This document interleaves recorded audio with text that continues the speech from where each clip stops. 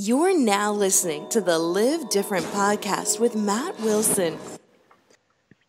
Hello, everybody, and welcome to the Live Different podcast. I'm your host, Matt Wilson, and today I am very excited to have none other than Brant Cortright. We were just chatting that yes, he is a PhD, which means he is Dr. Brant Cortright, a clinical psychologist and professor of psychology at the California Institute of Integral Studies. He has a consulting clinical practice uh, over there in California in the San Francisco Bay Area. He has written several books, including one that I'm most excited about The Neurogenesis Diet and Lifestyle Upgrade Your Brain, Upgrade Your Life. Brant, thanks for coming on today. I'm happy to be here. Thank you, thank you, thank you very much. I uh, I wanted to actually start out by something. I was I'm in New York today, and I was on the train preparing, skipping through all the stuff that I had underlined and and uh, pages that I had dog-eared. I, I think I, my audience knows by now that I'm quite the geek when it comes to, to neuroscience, honestly, uh, because just seeing my, my grandfather struggle with Alzheimer's and uh, my, my uh, also, my father has a form of dementia, PSP, parasupernuclear palsy, and uh, well, certainly I don't want anything like that to happen to myself, but it's just uh, it's just such a fascinating topic once you get into it, and I wanted to to read a, a breakthrough that you had in this uh, in this book, the Neurogenesis Diet and Lifestyle, and you talk about how you can operate at a higher level than ever before believed possible. And at any age, you can be smarter, remember more, be more vibrant, alive, free of depression, and resistant to stress. And when you increase your rate of neurogenesis, the farther reaches of the brain's potential is unknown. And that is really what I want to talk to uh, to you about today and see if we can help our our listeners really up their game when it comes to their brain function, their cognitive function, and just their their overall health and happiness. So, uh, Brant, let's do it. What do you say? Great, let's go. All right. Uh, so, I, I actually first, before we dive into all of the things that you can do for your your diet and your body and your heart, your mind, your spirit, all the different sections that you laid out in the book. Uh, as I understand that you came to have this interest in in psychology, but in uh, neuroscience through consciousness and through uh, yoga and spirituality, as you've written other books on it. And so I'm curious your story and, and how you got to be uh, the Brant Cortright of today. well, um, yeah, as you say, I really came to this through psychology and spirituality. Um, transpersonal psychology, which is putting those two things together, is what I've been teaching for a few decades now. And that's really all about having your consciousness operate at a higher level having a kind of psycho spiritual practice to work with the inner barriers to functioning at a higher level. And I think over the years, I've realized that I've actually kind of downplayed the role of the brain in all that, the physical brain, and focused more on the self and psychology and spiritual practice. And as I was doing a book on a holistic treatment for depression, meaning body, heart, mind, spirit approach to depression. And I was researching the, the physical part, the body part. I realized that this current theory of serotonin deficiency causing depression is no longer valid. In fact, it was never really valid. And that actually the research shows that people who have depression of various kinds don't have lower serotonin levels, they have average serotonin levels. Some studies even show they have higher than normal serotonin levels. A few show lower, but most show pretty average. So they've now been through a kind of paradigm shift where they've realized that it's actually the increase in neurogenesis that is responsible for getting people out of depression. That neurogenesis is the process of making new brain cells, right? We've known about neuroplasticity for some time, which is making new connections among existing neurons. But neurogenesis only became clear that it happened in the late 1990s right? The, the, the, traditional view is that the brain stopped growing somewhere in our early 20s. And after that, it was just one slow die off.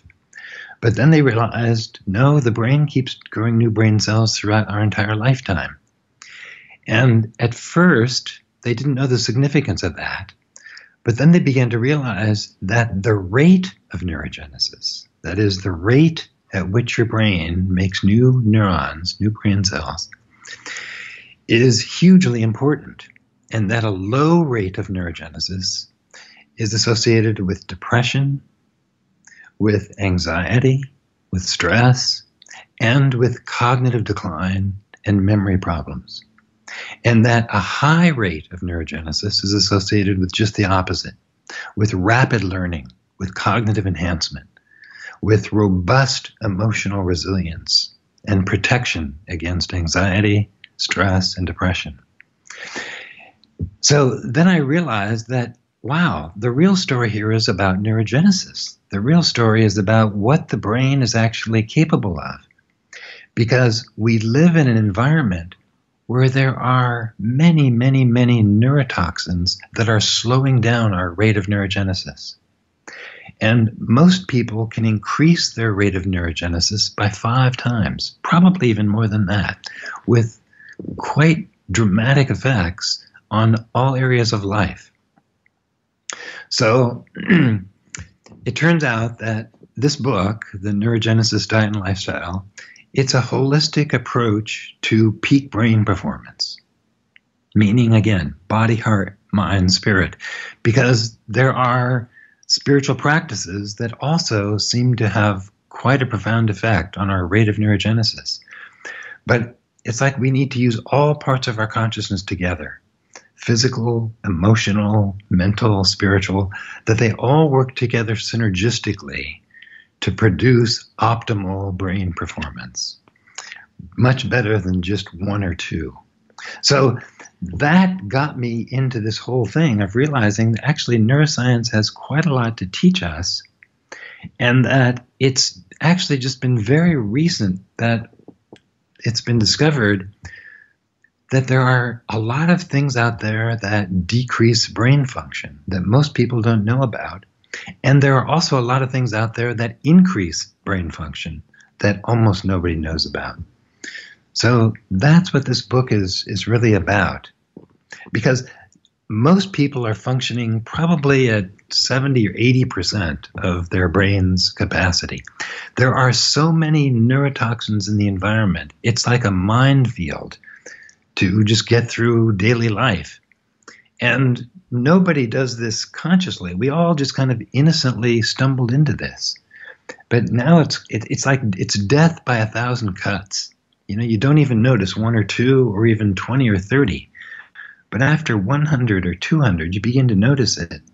But since it's mysterious about what caused it, most people don't even recognize it's happening. And it's also gradual. So it's don't even recognize it's happening. And if they do, it's hard to know what it is.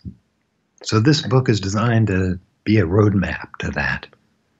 Beautiful, Brant, and and I really enjoyed it. And uh, before we get into things like how the listener can avoid neurotoxins and, and what what the top ones are that they that they should be avoiding. And also, I, I of course want to touch on what you described as the serotonin deficiency theory, which so many people at least know someone with depression who's walked into a, a psychiatrist's office and they, they've diagnosed them with being low in serotonin and uh, you know put the put them on SSRIs, these uh, eh, these drugs like Prozac. But but first, I want we were sharing offline a little bit, and I was saying that uh, really my uh, gateway into learning about neuroscience and, and, neurogenesis and trying to achieve this peak uh, performance in, in this way and sharing it with others really came from beginning to travel and opening up my mind to new ideas and starting to practice yoga and learning how to to meditate and discovering a, a world outside of my own where I was just living in New York and stressed out and uh, just in my own little bubble, caught up in in in the rat race, if you will. But I, I'm curious, Brent, how you know I know that you come at this from, as you said, a background in transpersonal psychology, but were you always interested in yoga? Were you, uh, did you have a, a, massive spiritual awakening? Was it at psychedelics during college? Uh, what, what brought you into this world? Uh, yeah, you, you nailed it. All of those things. I, I was an, I was a hardcore atheist until I went to college and then I took LSD. Okay. that changed everything. That opened me up to new experiences that I couldn't explain and opened me up to spiritual realities and um, cosmic consciousness, experiences of light, of feeling just bliss, the entire universe aware of itself in one ecstatic moment, um, out of body experiences, um, entering the Buddha stream, many different experiences. But then, and so that got me really into spiritual practice.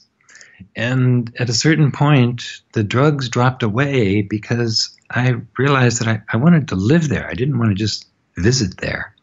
And each time I did the drugs, and I did quite a bit of them for quite a while, I got kicked out of Eden afterward. I got kicked out of heaven when the drugs wore off and had no clue how to get back.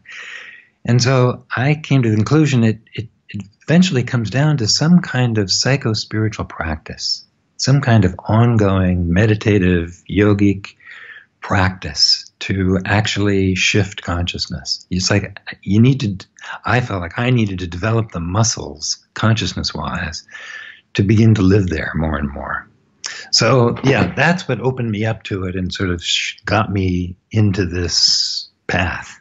That's really interesting. And uh, I want, while we're on the topic, I did want to to elaborate a little bit for the listener who might not be as open to psychedelics as as people who follow the same types of research that that you've probably heard about how you know psychedelics can be amazing uh, be amazing treatments in in clinical settings for uh, people with depression and uh, or PTSD, for example, or people have probably heard. Well, uh, it's come up on the, uh, my podcast quite a few times about uh, people doing ayahuasca and uh, you know with with shamans in Peru, and it's become much more popularized. but I did want to to touch on uh, your experience, as you said, kind of fall, falling out of Eden or coming back to Earth uh, and it not being such a pleasant experience. Um,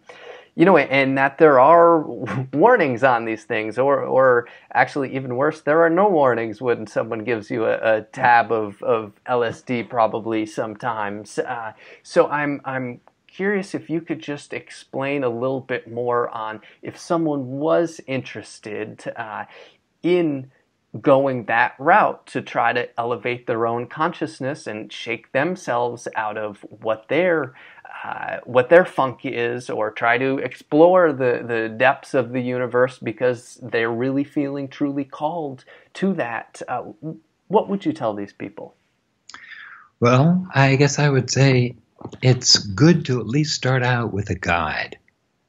Um, people who just take it since the effects depend so much on set and setting, meaning your own internal psychological, physical set, and the setting, the people you're around, the environment you're around, that when these drugs first hit America, there was no psychospiritual context for this.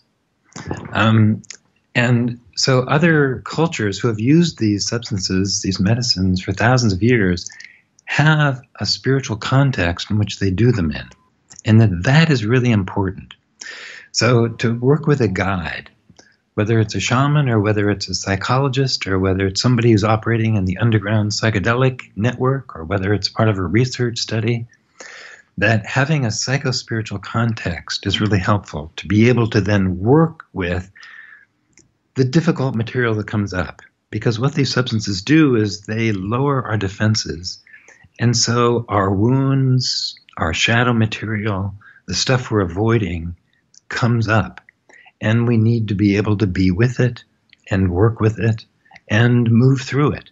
And what the psychedelics do is they give a kind of inner resource to deal with it in ways that we don't have in normal consciousness.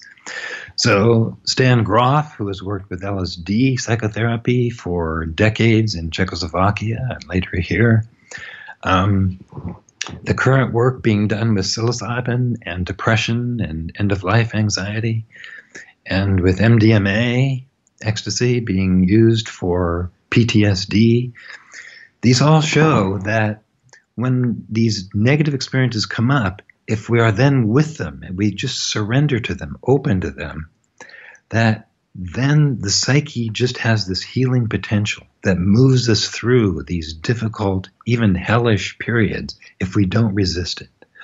That's that's really what a bad trip is. A bad trip is when somebody doesn't want to look at whatever is coming up, and so they try to resist it. But since the defenses aren't in place, it gets bigger. And so they try to resist more, and it gets bigger, and they resist, and it gets big, and they freak out. The answer to a bad trip is to stop trying to push it away, to float downstream, to open to it, to say, what does this paranoia have to teach me here? What does this negative feeling have to teach me? And then we go with it, we go into it, and then emerge out, usually into a more integrated, more blissful state, having integrated and worked through this experience. So, unless you have a context that supports that kind of healing, then it's more of a roll of the dice. Um, so, your first, I don't know, five or 10 experiences, I think it's really helpful to have that kind of guidance and then you can kind of do it on your own. But at, again, even then, I think it's important to have this intention to do it in a healing or a growthful um, way, where we're doing this to sort of open to new realms. And interestingly, psilocybin increases neurogenesis, and so does ayahuasca. It increases the rate of neurogenesis.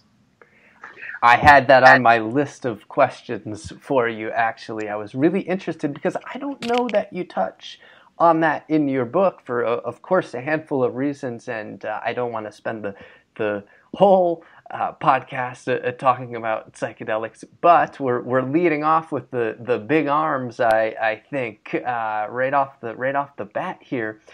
But it's it, it's very yeah very important for people to to understand that and I, am curious uh, when does someone know that they're ready to go on a psychedelic journey to uh, if they have an intention uh, be, if they have an intention behind it uh, myself for example you know i don't have lots of psychedelic experience but for for several years, I was called to going to Peru to experiencing ayahuasca with a shaman uh, in a in the right set and setting, and uh, it was something that I did lots of research about. But I also had other tools, knowing that when I did come back to Earth, okay, I could come back to my yoga and meditation practice, and I wasn't going to just go back out and uh, be a binge drinker or I was going to eat the the right foods when I came back to continue my neurogenesis or I had you know I had experience with fasting before I went into the plant medicine ceremony. So I'm curious when a person knows that they are ready for that. That's a good question. I think there's just some sort of basic trust you have in yourself that okay I can do this. You know the amount of freakouts it's it's very tiny. Even in the worst of the psychedelic heydays in the 60s it was never thought to be more than like 1% so it's it's it's actually quite a rare thing but it does happen. And knowing how to navigate it and just go with it is really important. And I think if you just have that basic trust that the psyche is something you can trust, and you're with somebody, at least initially, who also has that trust, you'll be fine. Okay, excellent, uh, excellent, and and uh, Brent, I'm trying to think of where do we go? Where do we go from from here? I actually wanted to ask you about uh, more clinical psychology and and as you said, transpersonal psychology. And you talked about okay, if you are on a psychedelic journey and you are fronted with your with your shadow or your demons or whatever you want to call them and you have the wherewithal or the intention to go with the experience and face it and get through to the other side and try to get past that uh, in your life. When you speak with someone at your clinical practice, uh, do you are you often seeing the same types of things brought up over and over and people kind of just digging up the past and talking about it and kind of getting stuck in these types of cycles, or maybe you try to guide them past that in your practice. But a lot of people will say that uh, some clinical psychology can be a waste of money because it's a it's a great uh, it's a great business model. You go in and you talk about the same old stuff and dig it up from the past and get upset with it again, and uh, you know fumigate for uh, for a week on it, and then you go back and you do the same kind of thing. So I'm curious uh, what your stance is on that, Brent. Boy, that uh, that's a great question. Um, I teach therapists. I teach in a graduate program, so I teach psychotherapy. And one thing that I confess is a kind of dirty little secret in the profession is there's a lot of bad therapists out there. There's a lot of very poorly trained therapists who only know, say, for example, cognitive behavior therapy. Now, cognitive behavior therapy is wonderful in certain ways. Um, something like 80% of therapists in the United States identify with that as a orientation, but it's very, very limited. It's basically about changing your cognitions. It's very heady most therapy does not go into the experiential depths of the psyche. For that, we need the depth therapies, the humanistic existential therapies that involve the body, and also the psychoanalytic existential therapies that go into the relationship, into the here and now. Um, you can look at, at therapies as being either right brain focused or left brain focused or balanced. And it seems like the balanced ones have the best rates of cure. So if it's a really, really heady therapy, as many therapies are and many therapists are because they haven't done much of their own inner work, then the therapy is probably not going to be that effective. But if you have somebody, a therapist, who has also done their inner work, and has an experiential orientation, can really go more deeply into the psyche, then I think we see some really good results. And unfortunately, I think most training programs are just kind of superficial. So I say this after decades of teaching in the field, and I believe in psychotherapy, but I've also seen that there are a lot of poorly trained therapists out there, and I've heard a lot of therapist horror stories from clients who have gotten nowhere. So yeah, I understand what you're saying, and and it, it's you just need to find a therapist that feels like this person really I I can feel safe to go deep with, and they know how to go deep. They can go there. They're not going to be scared or anxious or get me talking about something else if I do.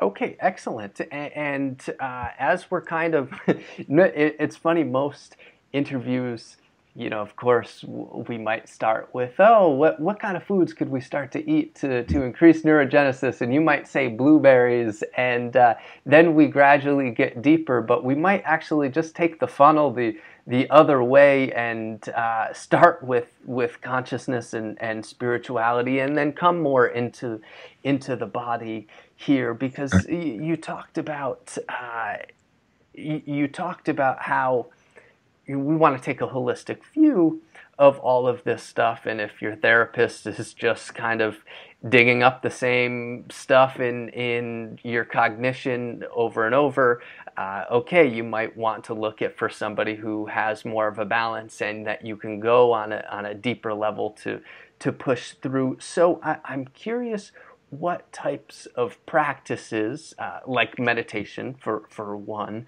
would you suggest for someone who's trying to develop a more uh, holistic mind and just feel better in, in general?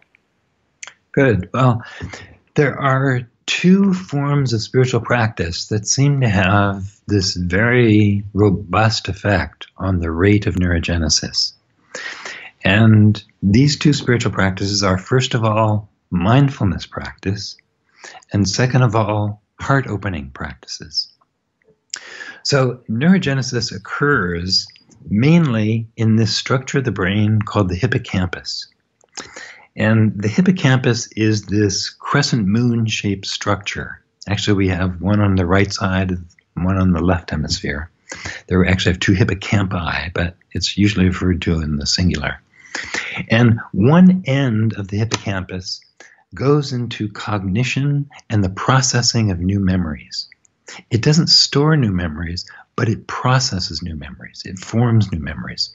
So in Alzheimer's, for example, which massively attacks the hippocampus, we get people who can't form new memories very well. The other end of the hippocampus goes into emotion regulation particularly stress, anxiety, and depression, as well as the body and physical and spatial relations. So the hippocampus is this funny structure that is involved in body, heart, and mind. And when we do mindfulness practice, we get neurogenesis along the entire length of the, of the hippocampus. That's, that's really unusual because many things only cause neurogenesis on one side or the other. For example, antidepressants cause neurogenesis to rise on strictly the emotional side of the hippocampus, which is why you don't get a cognitive boost from doing antidepressants. Um, but mindfulness practice, and I'm sure many of your listeners know this, is essentially the process of coming into the here and now, becoming present centered, coming into this very moment right now. And there's different practices to do that. The most common one, the most widely practiced, is simply focusing on the sensations of the breath, say in a particular part of the body. It can be the nose or the back of the throat, but commonly it's it's just your abdomen. You just notice the sensations of the breath coming into your abdomen and going out. And you don't try to control your breath. You simply disregard other thoughts and just tune into the sensations of the breath. Doing that for 20 minutes a day, twice a day, for eight weeks causes measurable changes in the brain and particularly the hippocampus, which is kind of astounding. We used to think that you'd have to do this for years before you had an effect, but as little as eight weeks shows measurable changes in the brain. The other big spiritual practice is heart opening. And these can be compassion practices. Um, the practice out of um, integral yoga, which is my tradition, involves focusing in the heart area and focusing on either a feeling of surrender or love or devotion or of aspiration aspiration for the divine, aspiration for the soul to come forward, aspiration for all things divine.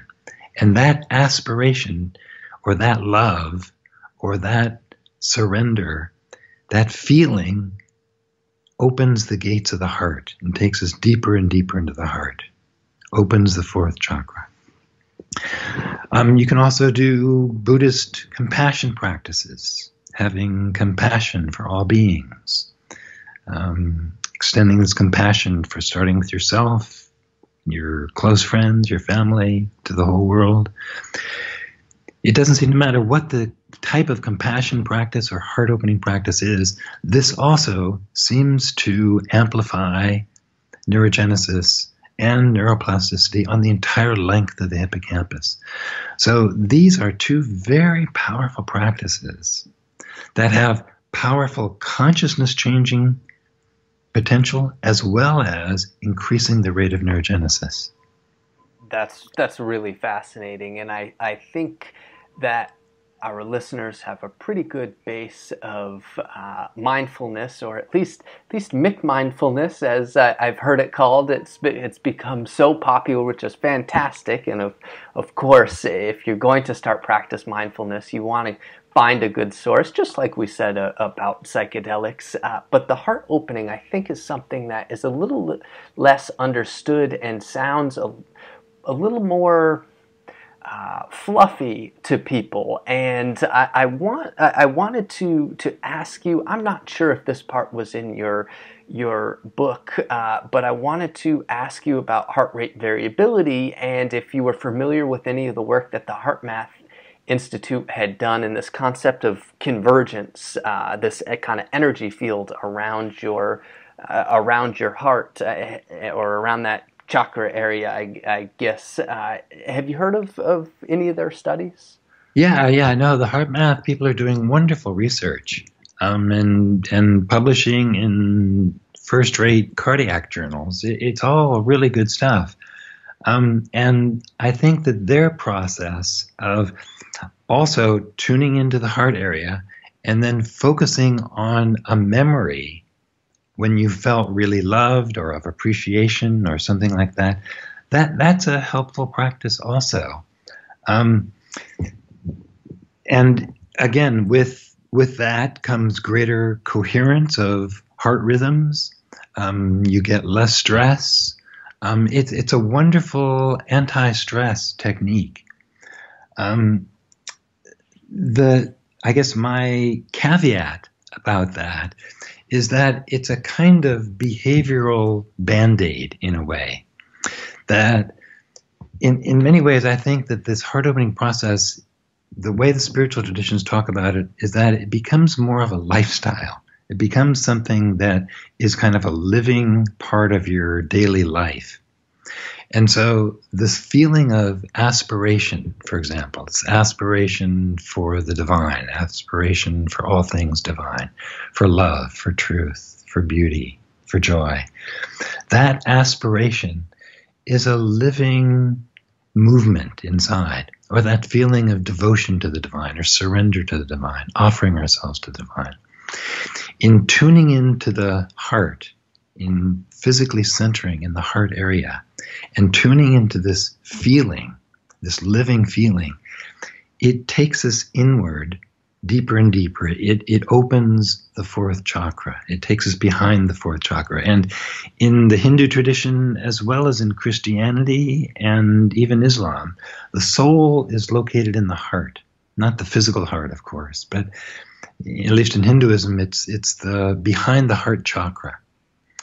And so, as this movement, this feeling of bhakti, this feeling of love, and, and not just with bhakti yoga, but you can even think of Christianity as a kind of bhakti yoga, or Islam is even a kind of bhakti yoga too, where the feeling of love, the feeling of aspiration, takes us deeper and deeper into the heart. That's a living feeling that we can more and more live from.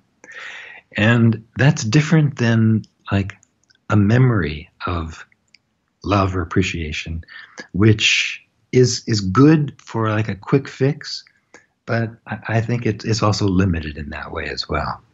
Okay, that no, that's that's really interesting, and I've done some of the the HeartMath uh, Institute has a, a, program out, and you you buy a little cord for like a hundred bucks, and you stick it to your ear, and it measures your your actual. Uh, before I said convergence, and I, I met I think I said convergence, and I meant coherence, and also I said fumigate instead of rumigate, ruminate. I think that's when you get really pissed off and you're you're fum, fuming on something. But uh, you know, you, you, and you can see that the intervals between your heartbeats are actually not supposed to be perfect. Your heart actually doesn't beat one, two on a perfect.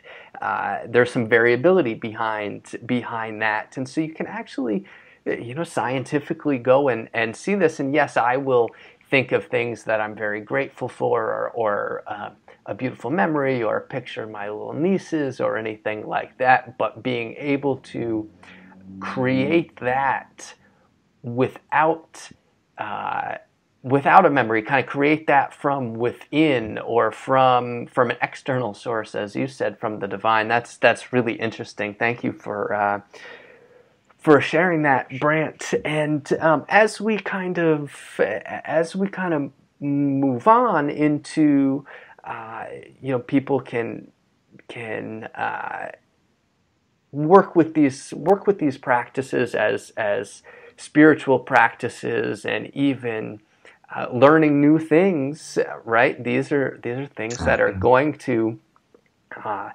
improve your rates of neurogenesis or just keep you sharp overall. And so, going and pick up, picking up a book on a, a spiritual practice that you know nothing about, uh, or after, you know, I, I wasn't so familiar with the term you used, aspiration. I'll go and, and read all about read all about that and and try to to keep myself sharp and learn. You know, maybe this is something else I can add to the the toolbox. So so that's fantastic. Um, and, and, as you move into so those are the two mindfulness, and you talked about heart opening. And as we kind of move down the the chain here towards uh, you know what you describe as building up a cognitive reserve in your mind. So you want to be real sharp so that as you get older all right if you're dulled a little bit that's that might be okay. Or if you've been eating really really uh, healthy, then all right, if you go and have a cheat day and have a couple beers and a, a, hamburger and some french fries, you might feel a little foggy the next day, but your baseline is a lot higher than it would have been if you hadn't been meditating regularly or if you hadn't been doing these positive things. So I'm curious uh, what else you would suggest the listener to do to be able to build up that cognitive reserve. Good. So, in, here we're at the level of the mind and how we can cognitively enhance um, neurogenesis. And what it comes down to essentially is is learning, learning new things, being a lifelong learner. So there is measurable cognitive decline at two stages in a person's life. One is after they graduate from college, and the other is when they retire.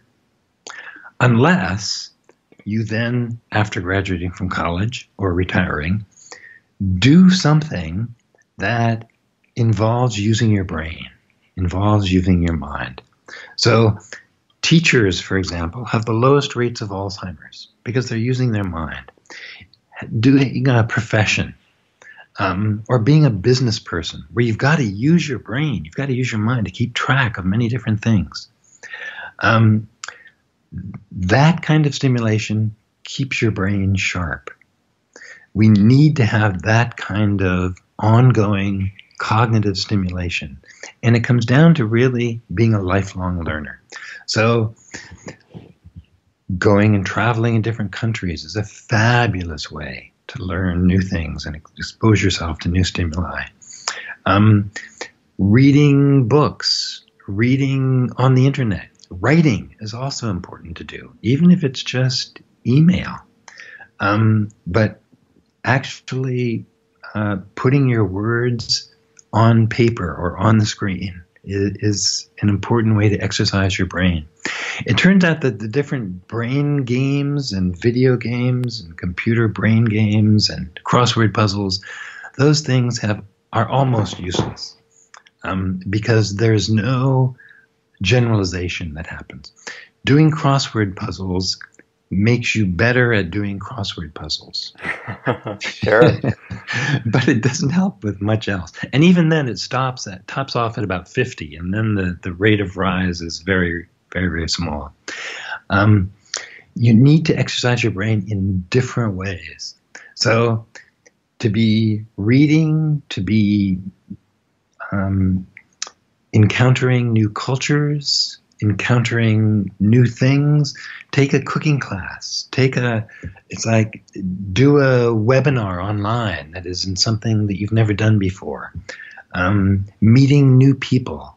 Um, just in any different way to kind of keep your curiosity and keep learning is really the key. And as you do that, you build up, as you're saying, cognitive reserve. So it turns out that people of cognitive reserve may have just as much amyloid plaque as anybody else, but they don't have symptoms. Because the idea is that there are other pathways your neurons can take. Now, Alzheimer's, as you kind of indicated at the beginning, it's a huge problem. It's estimated right now, it's almost at 50% now, but it, in a few years it'll be at 50% of 85 year olds will have either dementia of some kind or Alzheimer's. And since most people are expected to live to be 85, that means most people have a 50 50 chance of developing Alzheimer's. That's, and right now there is no medicine, there's no drug. There have been billions spent on drug trials to come up with something. It's all been a complete failure. There's nothing right now. You look on the Alzheimer's Association website and they'll say there's no treatment for Alzheimer's. But recently, it's been shown that working holistically actually is able to reverse the cognitive decline associated with Alzheimer's and even reverse Alzheimer's. So, using this body, heart, mind, spirit approach has been shown to reverse c- cognitive decline as well as Alzheimer's. So,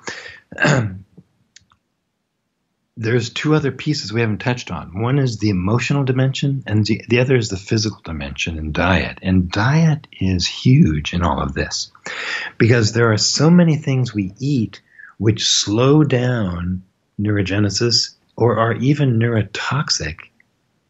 And there are so many other things we could be eating that increase neurogenesis and increase neuro, um, excuse me, synaptogenesis or neuroplasticity. Um, but most people just don't know about them. It's like if we want to build a beautiful high end house, you don't use rotting lumber or decaying wood. You have to use high quality lumber. And it's the same with the brain. The brain grows from two directions physically and psychologically. So, psychologically, in terms of spiritual practice, cognitive uh, stimulation, and emotional stimulation, and also physically in terms of diet and things like exercise and sleep, too, but particularly diet. So I wonder if we could talk a little bit about diet before we go, because I think this is also hugely important. Absolutely, absolutely. I'd I'd love to, and I'm I'm so happy that you touched on uh, the other pieces as well about the learning the new skills, or I'll brush my teeth with my left hand, or try to use God, I've tried to use chopsticks with my left hand a few times, and that that's been my uh, my biggest challenge. Uh, or or my mom is learning to juggle right now. She's 62 years old. Uh, or my my my cousin, actually, well, my my family. Geez, this is it's been pretty tough seeing uh, my my grandfather with this Alzheimer's. But my my cousin decided because of it. She said, "Well, you know what." I'm graduating school, but I'm going to go on and get my master's because I want to keep learning and, and really to keep her brain sharp. Uh, but yes, tell me, tell us more uh, about the diet and, and what you suggest. Um, just one last word about Alzheimer's. Um, you're probably aware of this, but the, the process begins 20 to 30 years before we see symptoms. So it's never too early to have a lifestyle that is anti Alzheimer's and pro brain health. Um, in fact, the sooner we get started on this, the better, because it's more and more clear that Alzheimer's is a lifestyle disease and is almost entirely avoidable. That that's amazing, amazing news. And actually, Brant, before we get on to diet, I I liked so much in your book how you highlighted that optimists live longer than pessimists. And if we're talking about, uh, sure, there's so much doom and gloom around this, and I don't want people to say, geez, these guys are just so negative, trying to avoid all these diseases. But you also go into a, a section where one of your hopes for the future is that when the cancers and the heart disease and the uh, neurodegenerative diseases are cured and they're not you know the, these are not these are within reach uh, that mm. then people will regularly live to 120 you know i'm, I'm a big fan of peter diamandis and, and looking at how you know that guy's trying to live till 700 or dave asprey who mm-hmm. continually plans to live to 180 years old and and this is someone who these are people who are, are trying for moonshots but are looking at the world uh, in an abundant way instead of just the doom and gloom that we hear from the media and all the statistics so could you touch on that a, a little bit for us brant yeah um, you know, when the brain is functioning at a high level, it has an intrinsic good feeling. We feel good inside. Just just being alive, we feel vital, we feel alive, we feel good. It comes naturally when the brain is functioning at a high level. And we also are extremely resilient when there are setbacks, right? Because life is going to knock us down. That, that's just given. But resilience is the capacity to bounce back. And so, right now, it's a pretty dark time in America and maybe the world also. There's a lot of negativity, there's a lot of fear. Um, anxiety rates are way, way up. Um, childhood anxiety rates are up eight times what they were in the 1960s and the 50s. And this isn't due to better testing. This is the same standardized tests that were done in the 50s and the 60s. Plus, now we have ADD, we've got autism, we've got all this other stuff that hardly existed back then. So, my own sense is that in part, this is, in large part, this is due to the brain is under assault. We live in a neurotoxic environment. And when the brain is under assault, its capacity to deal with things and its optimism begins to fade. Its intrinsic optimism begins to fade, and we get more scared. We get more pessimistic.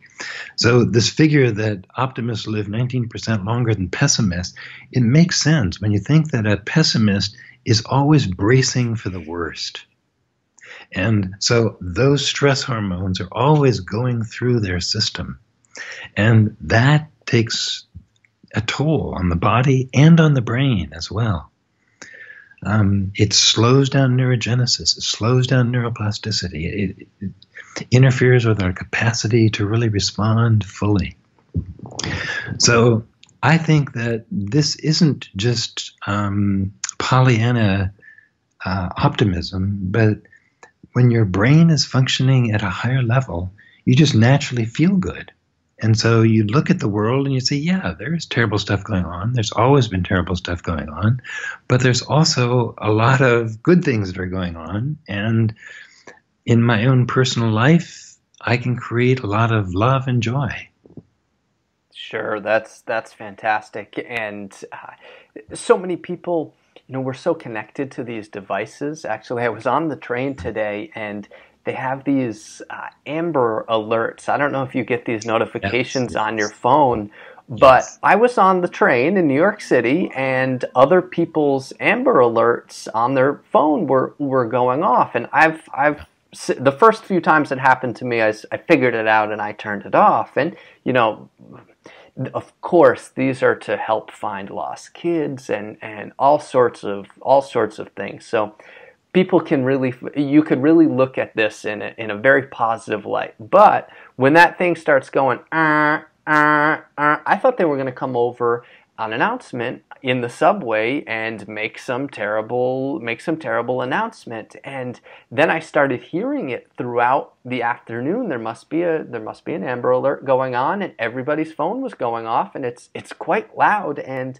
and anxiety Uh, yeah, I mean, it gives you quite a lot of anxiety. And with the push alerts, you know, the iPhone, you've got New York Times push alerts. I, I think it's almost automatic without even installing the apps now. Sometime, some deal probably between New York Times and, and Apple. But uh, could you touch on how people can can help reduce their anxiety in this over hyper connected uh, day and age?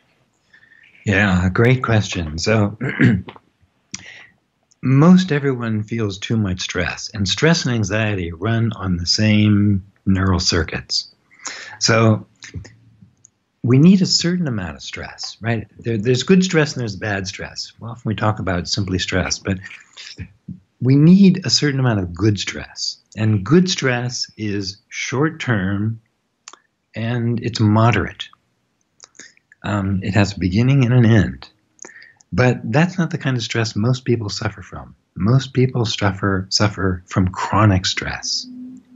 And that's what has this degrading effect on the brain and the body systems. The stress hormones affect heart, affect digestion, affect your levels of inflammation, affect brain function, affect every level of the body, and but particularly the brain. So the stress isn't we, we can do some things to reduce stress, but mostly what we need to do is to be able to take a break from stress, to be able to reset our nervous system. So one great thing is exercise. Any kind of exercise. Aerobic exercise, yoga, something where you get into your body turn off your mind for a while and fully get into your body. And your body has a chance to either rev up and then relax, or just stretch and relax, or strength train and then relax. But you have a chance to reset your nervous system, by moving into a feeling of deep relaxation. It's also something that meditation does. It produces a state of deep relaxation. We need to have breaks from the stress. We need to not be always on our devices, not to be always available to work. We need to have downtime, time where we can just totally forget about everything and be ourselves, be in nature. Just a simple walk in nature has a profound effect on stress hormones. Stress hormones go way down just being around green, even if it's just a central park um, or if it's out in real nature, larger nature. Um, each person needs to find their own way of reducing stress. For some people, it's cooking. For some people, it's a night out with friends. For, but there needs to be some way to unhook and reset your nervous system.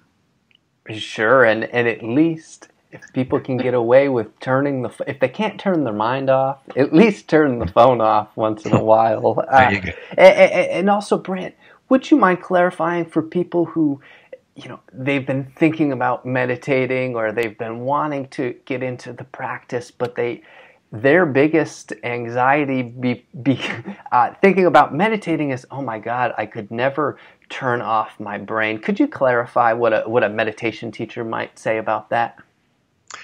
Well, the first thing you, I think most meditation teachers would say is when you start meditating, you become aware of your monkey brain, right? You become aware of just how out of control your brain is. It's compared to a monkey, or sometimes it's compared to a drunken monkey. not, not just a monkey, but a drunken monkey, totally out of control, swinging from all the rafters of your brain.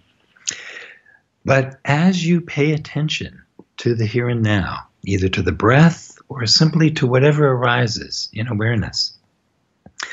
As you pay attention to it, the dust begins to settle slowly. And as the dust begins to settle, consciousness wakes up. We become more alert, more awake, and we come more and more into the here and now. So it's you don't make an effort to turn off your mind, simply observing your consciousness or observing your breath, the mind begins to simply settle down on its own. And in that process, we become more relaxed, less stressed, and more alert at the same time. Great, great. And Brant, I know that you want to talk here about diet and, and we don't have any time restriction here we're coming up on about 55 minutes there's we can go as long as we we feel like and and can get the right information over to the listener so uh, just as long as you want to go we can continue but uh, yeah could you could you tell us a little bit more about what type of diet is going to be best to keep your brain sharp or or even improve the sharpness of one's brain Okay, good. Well, um, based on our talk before the show, I imagine that you've probably familiarized with your, your listeners with some of this material. Yes. Basically, um, the kind of high carbohydrate, low fat, low fiber diet that is the standard American diet is terrible for the brain. And it's terrible for every other system as well. And is likely behind this epidemic of diabetes and inflammation and obesity that we see. Um, so we want really a high, good fat, low carbohydrate, high fiber, moderate protein diet. And in that, there are certain things that will increase the rate of neurogenesis. So we know that certain things decrease it. For example, sugar. A high sugar diet will cut your rate of neurogenesis in two. Um,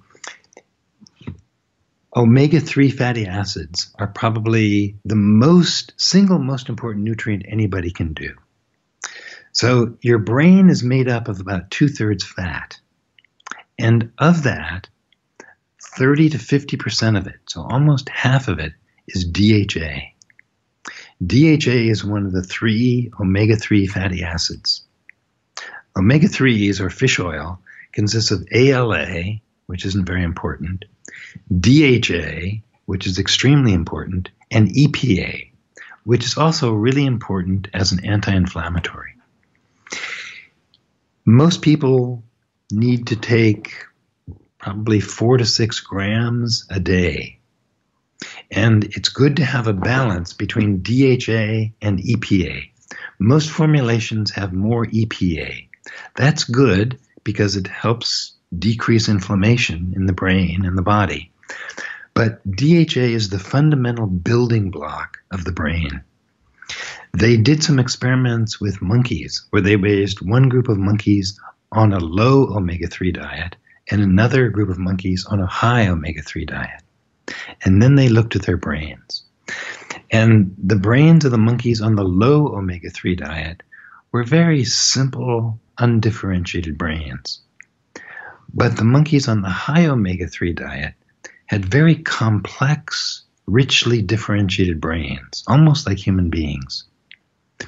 Omega 3s, and particularly DHA, is the most important thing you can do.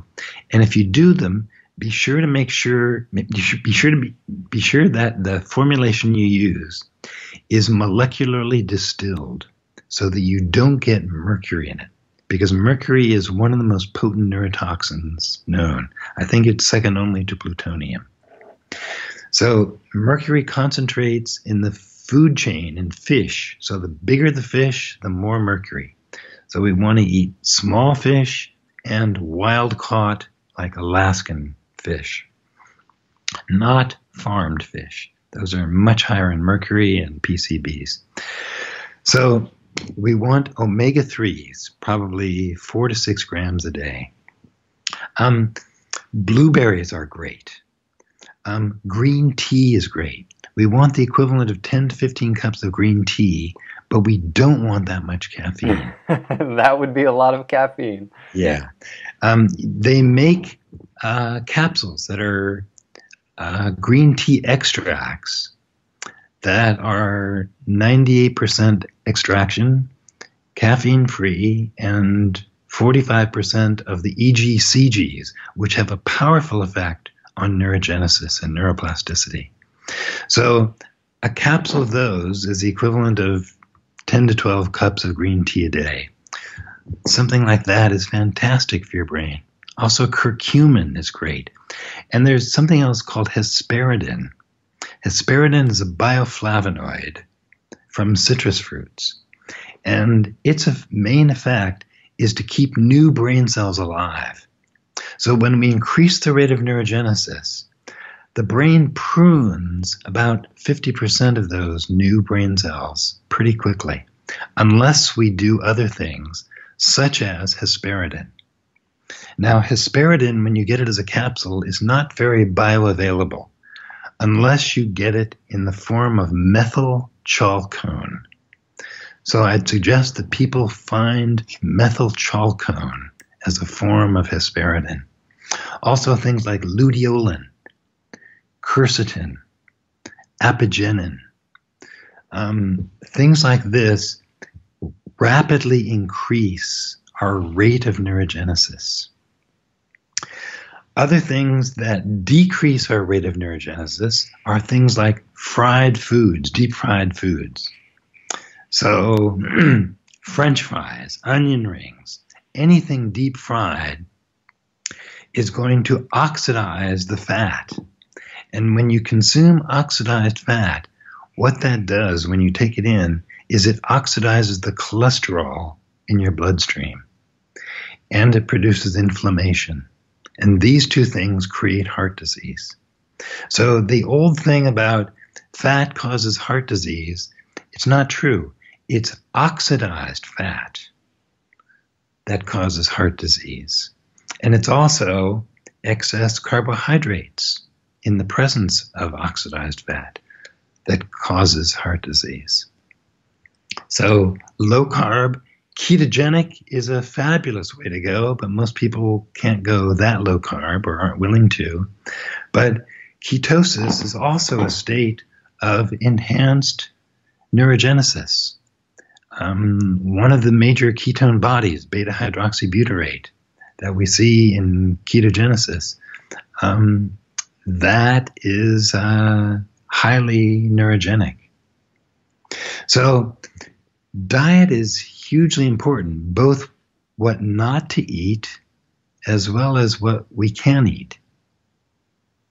That's that. Uh, that this is all excellent news, and if someone is scribbling down notes, do not worry. We will link uh, these resources, the different types of foods uh, that you may not have heard about in the show notes on under30experiences.com or right there in iTunes. We'll be able to link those as well. I wanted to, clar- to clarify two points. Uh, one, this is an easy one, so I can just quickly explain the oxidized fats just in case uh, people don't know. You know, you should not be spoiling your spoiling your oils or buying your fish oil from CVS or Walmart where it might have gotten uh, spoiled in the truck or during shipping, uh, and, and, that's that's really important not to.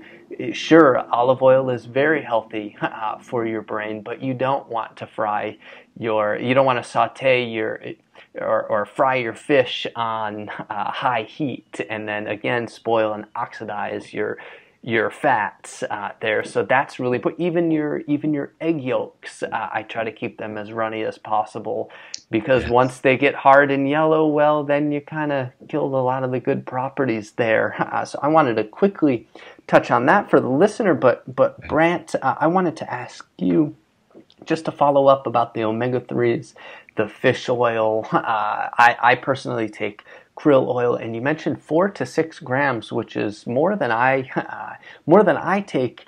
And you want a certain uh, a lot of DHA, as you said, and uh, EPA is great because it uh, is anti-inflammatory. But are you saying four to six grams of omega 3s, of fish oil in general, of DHA. I'm curious because people need to read the back of the labels here. If you're ordering on Amazon, a lot of times they don't even give you the information. And uh, I, would like to really lay that out perfectly for people.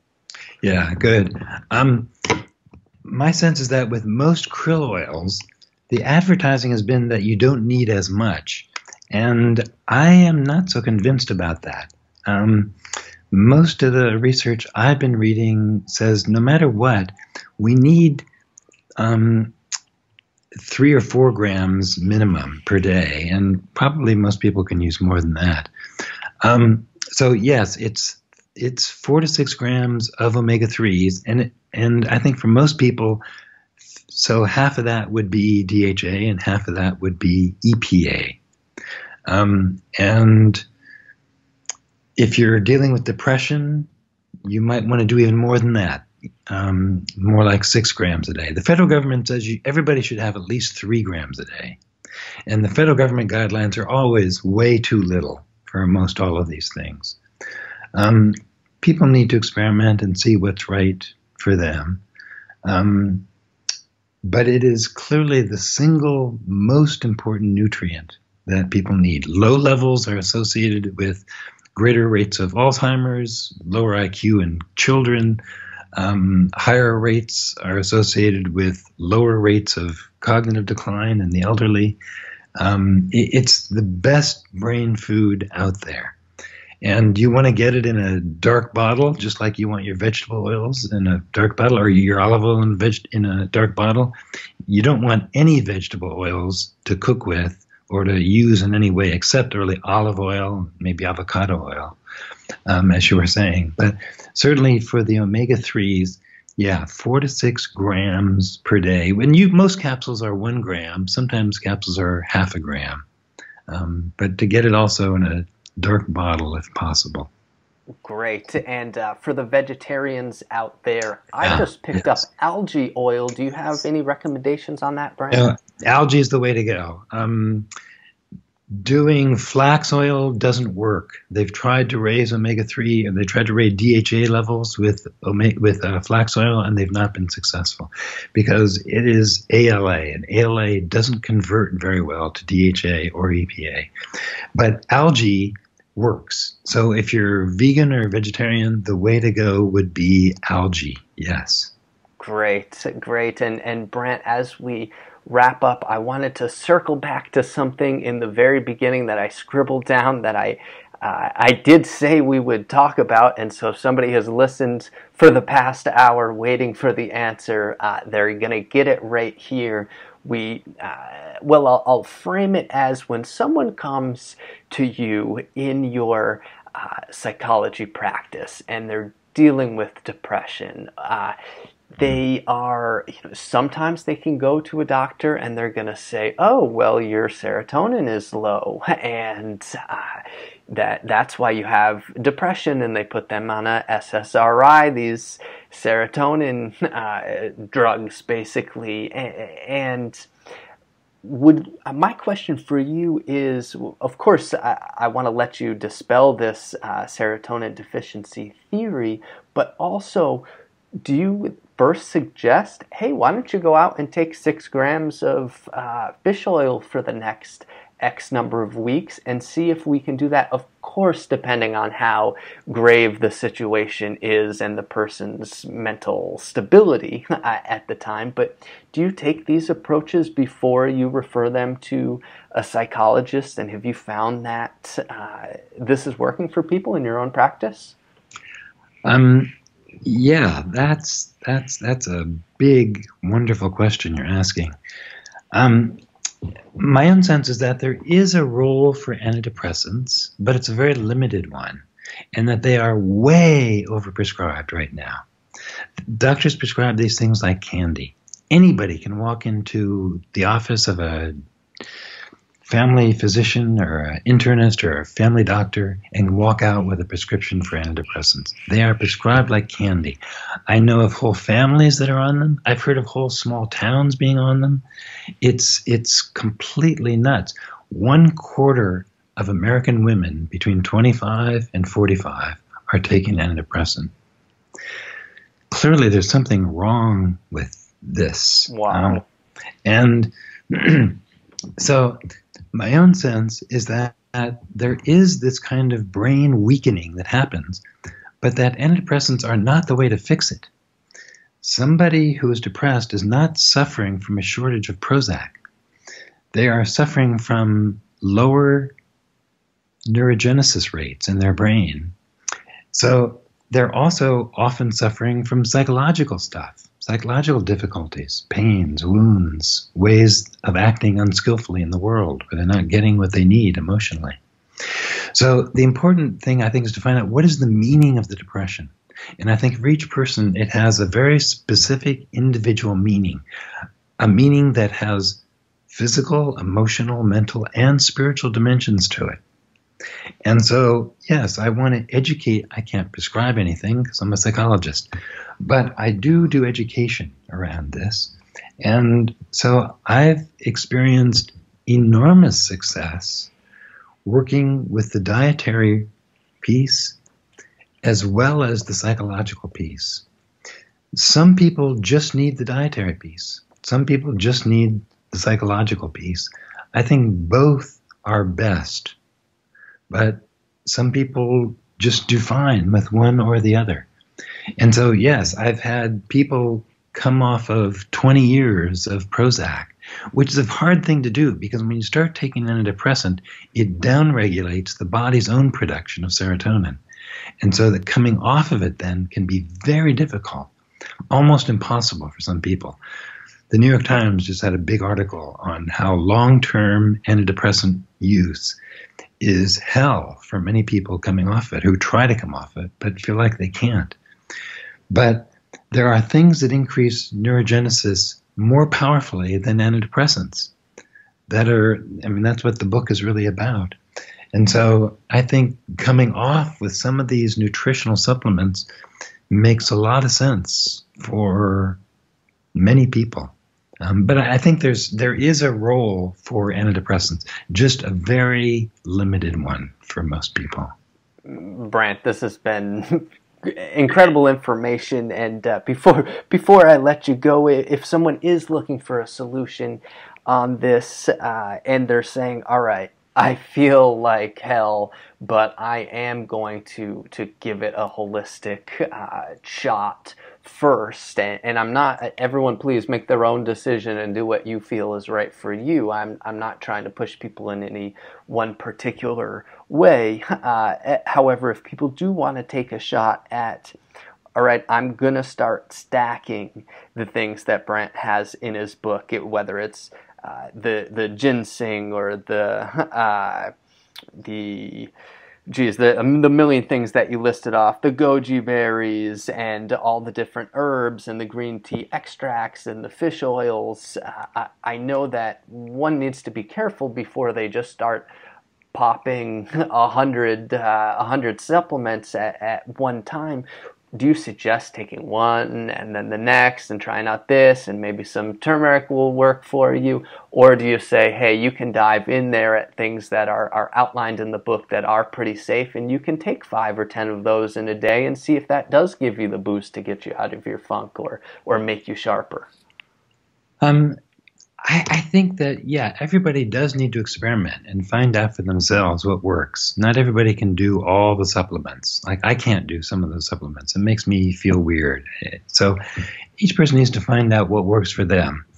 Um, I'd say that the the thing that is probably the easiest try would be the omega threes, like four to six grams. There have been some studies to show that simply doing larger amounts of omega threes like this are more effective than antidepressants. There's two studies that show that. Um, the the pharmaceutical companies know at this point that the serotonin deficiency myth is just that that it's a myth, and they are madly at work on drugs tr- that will increase the rate of neurogenesis. And when we when they discover them, we'll hear about them nonstop. But there are natural ways of increasing your rate of neurogenesis. The pharmaceutical companies, they've got a good thing going, right? It's a $16 billion a year industry on SSRIs. So um, the cartels know what they're doing. They don't want to stop this. So I believe that a holistic approach is is the way to go for most people, although there's limited utility for pharmaceuticals. Um, and I'm at work on a book right now, which I'm hoping will come out in sometime at the end of this year or beginning of next year, which is essentially that a holistic approach for depression, anxiety, and cognitive decline that sort of takes this the next step. But in the meantime, um, I also do Skype consultations, like a sort of consultation around depression or anxiety.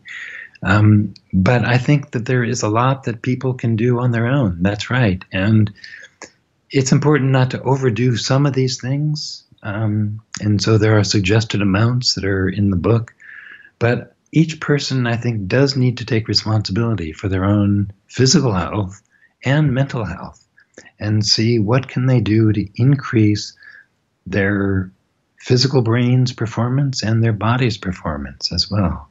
That's great, Brant. And you have a uh, beautiful vision for the future uh, of this planet, and that people can take the power into their own hands. As you, as you said, neuroscience is too important to leave to the neuroscientists and we can we can all start to learn this stuff and be able to help ourselves help our family members our neighbors and uh, yeah people people out there uh, in the world listening to this so so brant if people want to uh, learn more of course they can go anywhere and pick up the neurogenesis diet and lifestyle upgrade your brain upgrade your life where can people uh, get in touch with you or, or find your website?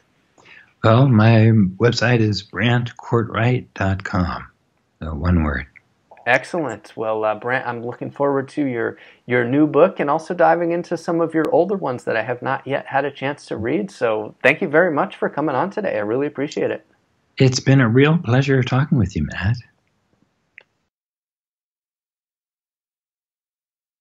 Listeners, it's Matt Wilson coming to you after celebrating the sixth birthday of our incredible travel company, Under 30 Experiences, up there in Austin, Texas. I'm back here in Costa Rica, and I have a resolution for you guys. What we've done with Under 30 that's gone so, so phenomenally well and made what looks like an overnight success here that's actually taken tons of hard work and lots of relationship building and tons of heart and effort and passion put into what we do every single day. What we've done best is build community, and I want to build community around the Live Different podcast. I want to design a place where you can come and get support, talk about living the best possible life that you can when it comes to the topics of travel, health, performance, business, all the things that we talk about on the Live Different podcast. And I want to be able to support you guys. And moreover, I want to have the guests be able to participate in that, for you to be able to ask them questions, for you to be able to interact, for you to be part of a group of like minded people. So, what I'm going to ask today is that you send me an email if you are listening to this, matt at under30experiences.com, and we are going to start a super secret Facebook group as well as email list. So if you want in, email me directly and say that, yes, I want to be part of this super secret program. This is free. By the way, this is just a way to build community around what we do at the Live Different podcast, please send me an email, matt at under30experiences.com. I will respond. I will get back to you. I will add you to this new group and to this email list so you can get insider access to all the people that we have on the show. Uh, as well as to the community. So, thank you guys very much. I really want to bring this to the next level. Looking forward to hearing from you.